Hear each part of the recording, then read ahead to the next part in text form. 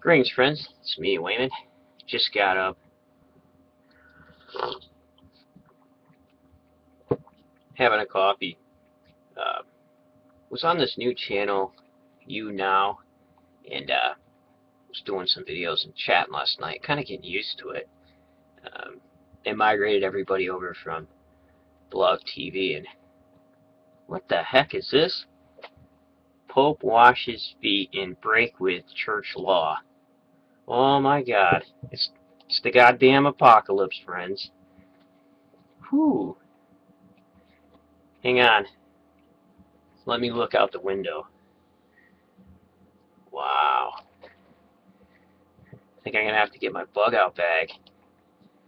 Let's see here. Pope.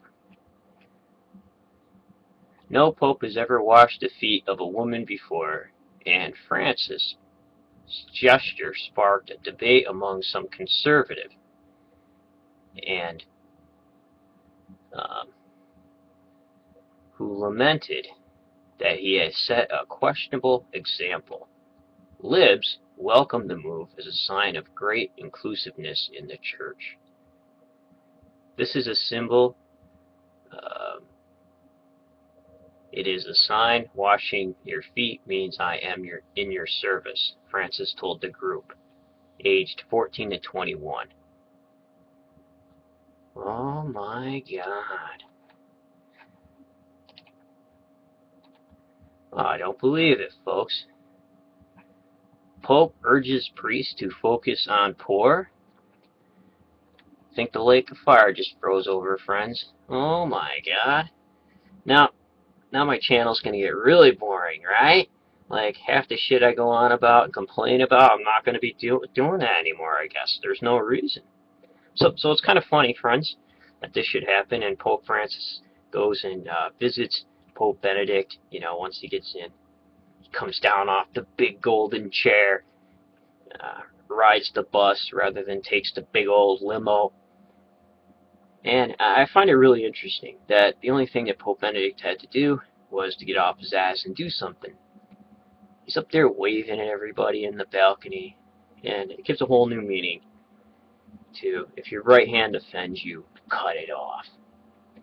Uh, Pope Benedict did nothing with his hands. He should have cut them off. And ignoring corruption and scandal, uh, he should have he should have plucked out his eye too. So, hopefully, um, that's great. Pope Francis shaking his hand. So I wonder how Benedict felt to have virtue shake his hand and justice shake his hand just by doing. The first two weeks, or the first couple weeks uh, in office already, uh, the Pope has outdone Benedict. Um, Man, poor guy must feel like a goddamn dummy. Well, that's all I wanted to rant on about, friends. Uh, take care, be well, and uh, be careful out there. We, we don't know what's going to happen.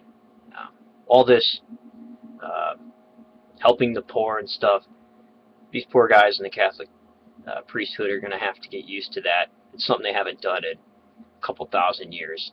So, it's going to be tough for them. be well, friends. Remember, if everybody's thinking like, then somebody isn't thinking.